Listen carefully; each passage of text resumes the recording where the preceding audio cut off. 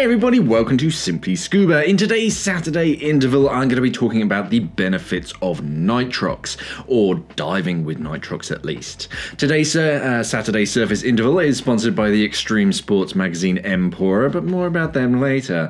Uh, so, scuba divers have kind of a love hate relationship with the gas oxygen. Uh, we kind of need it to survive, but the deeper down you go, the more toxic it actually gets. But nitrox is probably the most recommended speciality in the entire dive industry and is usually one of the first ones that I recommend for new divers to sign up for because nitrox just makes your diving safer. While scuba divers have a complicated relationship with oxygen, we also have a very different relationship with nitrogen. We hate nitrogen. It's that pesky gas that means that we can't stay down for too long or come up too fast. So a lot of divers dive with nitrox.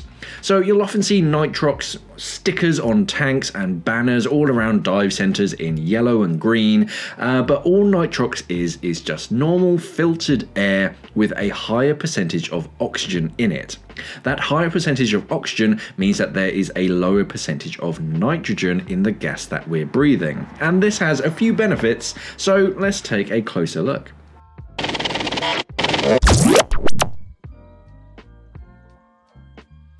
As I said earlier, the nitrogen in the air that we breathe underwater limits how long you can stay at depth and how quickly you can come up.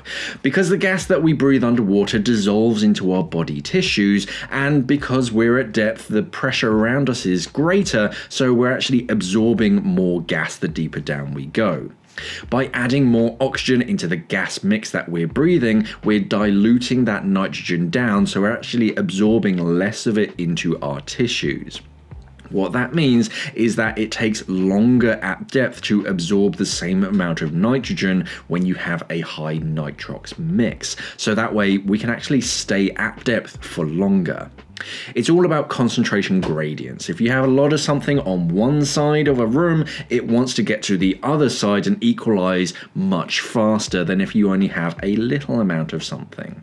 So if you have a favorite dive site or something to do at one particular depth, but your computer keeps beeping at you, telling you that you're getting close to your NDL, then nitrox could be your answer. I do say could be because nitrox is a trade off. We trade depth for time. Because of the higher oxygen content in the gas, we can't go down as deep. Higher nitrox mixes mean that you can literally stay in the water longer. Nitrox means that uh, on dive 1, you have a longer NDL or no decompression limit. But it also means that you can have a shorter surface interval, so you can get back into the water sooner, and you can stay down longer on your second dive as well if you're diving on nitrox. That is the major benefit of nitrox. You can literally dive more. You can't dive quite as deep, but you can stay there much longer. Now, it's not bonkers shallow or anything. I mean, something like nitrox 30, which is a pretty traditional mix, you can still dive down to like 36, 37 meters with no problems. There is plenty to see in 30 meters of water, and now on nitrox, you can stay there much longer.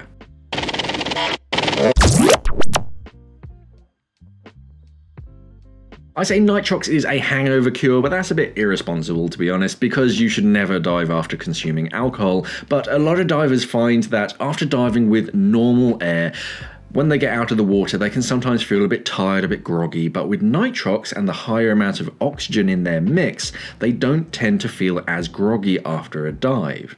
Oxygen is often given to patients in hospitals and emergency care because the human body uses oxygen for all sorts of things in the body, and higher amounts of it in our bloodstream can actually increase the rate of healing and other things. So, if you're breathing a higher amount of oxygen for your entire dive, then you're kind of supercharging your body.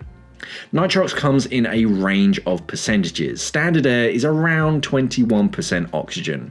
It varies with altitude and humidity and all sorts of other factors, but it's usually around 20.9% oxygen. Uh, nitrox comes with a couple standard mixes that they try and hit uh, 30 and 32% oxygen uh, but for recreational diving it's kind of anywhere between 21 and 40% oxygen The higher the percentage, the better for the human body, but remember it means it's the shallower that you can dive.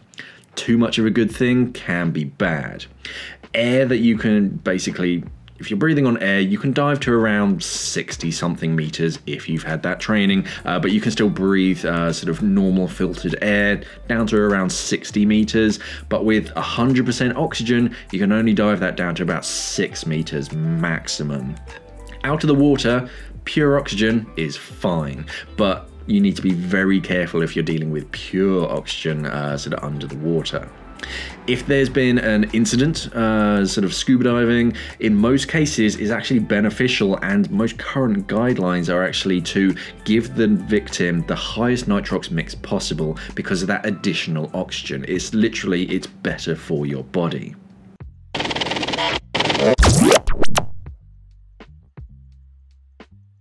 Today's Saturday Surface interval is in association with MPORA. MPORA is an online magazine that is all about inspiring adventure. Whether that adventure involves sliding around on a snowy mountain, pulling yourself up on a rock climbing wall, or riding your bike through the wooded tails, uh, surfing barrels down at the beach, and yes, of course, exploring the underwater world while scuba diving, MPORA is a website that has got you covered for everything. MPORA features everything from interviews from interesting people. Uh, uh, previews of things that are coming up, reviews of dive equipment, and all sorts of snowboarding and surfing and all sorts of equipment. Uh, news around those areas. It has everything to keep you clued up on the big outdoor issues. MPORA has got the lot, so don't forget to check them out after this video.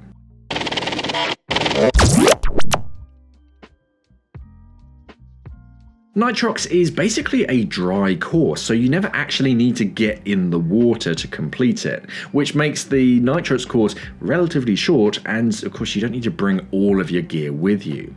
A lot of the time, there will be an optional Nitrox dive at the end of your course if you and your instructor want to do it, but it's optional. You don't need to do it. So, the Nitrox course won't take up very much of your time, it's very quick, and you can kind of do it anywhere really.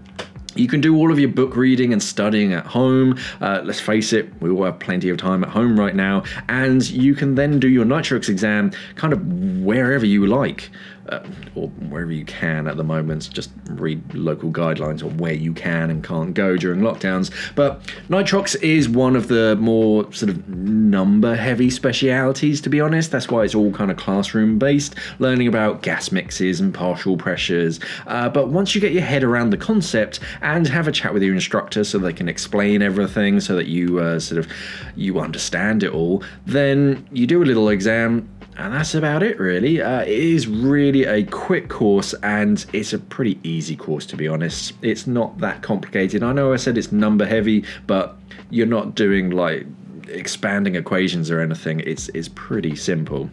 Uh, and Nitrox is actually often done as like an extra sort of add-on uh, at the end or at the beginning of a course because it really doesn't take up that much time, but it does have some huge benefits for you and your diving. And to be honest, I think my Nitrox card is probably the only card I've ever been asked to produce other than like a core cert card. People aren't really interested in a, a dry suit or anything, uh, but I think the only card I've ever been asked for is my Nitrox card.